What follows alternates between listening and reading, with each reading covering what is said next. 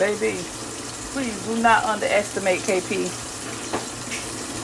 Don't believe anything I tell you when I be telling you I don't know how to do something. Because I be lying my ass off. I ain't going to leave a lot of you people.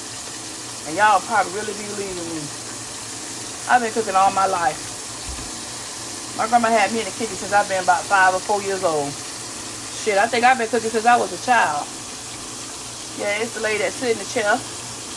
She cooking in the kitchen today. Yeah. Frying these good old crispy pork chops. I don't know. This gonna be a new feeling for me.